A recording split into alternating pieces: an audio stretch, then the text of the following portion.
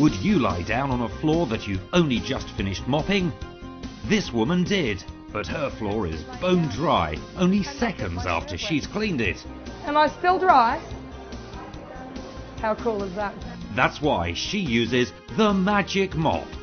Spilt wine on the carpet? Kids causing a mess? Someone forgot to clean their boots again? Is there more hair on your sofa than on your dog? Tired of walking on slippery wet floors that you've just cleaned?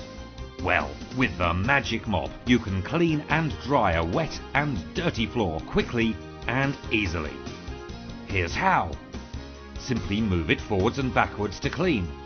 To rinse out the mop head, just pull the lever upwards and leave your floor dry by pulling the mop towards you.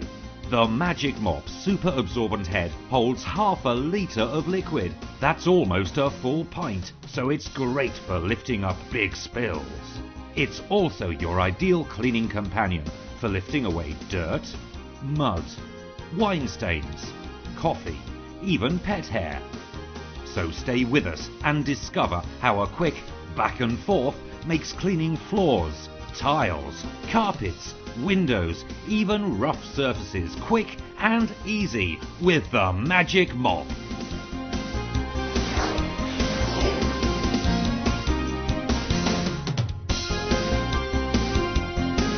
So all we need to do to make the mop go soft, you just pop it into a bucket of water. And the first thing that you'll notice with these when they are completely full is that they will never ever leak or drip out anything. So you don't have to carry the bucket around with you, you can leave it where it is. It also means that you've got that extension pole as well. So if you want to get up nice and high with it, you can do things like outside windows and mirrors or your conservatory walls, but you're not going to leak the water out of the head and all over yourself. This will hold about a half a litre of liquid with no leaks and no drips. That's almost a full pint. That's a lot of water to hold in the end of a mop. Now, because the head's not a rubber or a sponge, I can actually apply pressure to it. And rather than forcing the liquid out, I'm actually sucking the liquid back up into it again. So it's fantastic on your spillages and things like that.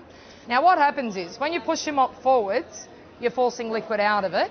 When you pull back on it, though, not only are you drawing the liquid back up into the mop again, but that floor surface underneath there now is dry enough that you can actually walk straight on it. Now, because you know that you can get your floors nice and dry, you can now use a lot more water for washing. It's like anything. The more water you use, the cleaner the surface and the easier you're going to make the job for yourself. Now, there's a, there's a little bend just in the bottom of the pole there. Now, what that's there for is if you flip the head upside down, that'll make it a lot easier to go underneath low furniture and appliances and things for you as well. So you go forwards and backwards when you want to wash. By the way, use as much or as little water as you think you need. Once you're happy that your floors are nice and clean, all you need to do is just get rid of that excess water out of the head and then you just use it in one direction for drying. Pull it backwards for drying. Now guys, it doesn't just pick up liquid either. Has anybody here got any pets? Now I'm just going to use a little bit of sugar today and this is just to represent things like the hair in the bathroom, breadcrumbs, bits of food in the kitchen, all the little bits and pieces basically that you might miss with your vacuum. Or if you're a little bit lazy like me and you hate the vacuum cleaner, all you need to do is just get rid of the excess water out of the head of the mop and once again use it like a broom. Now, not only will it sweep, but it actually mops for you at the same time as well.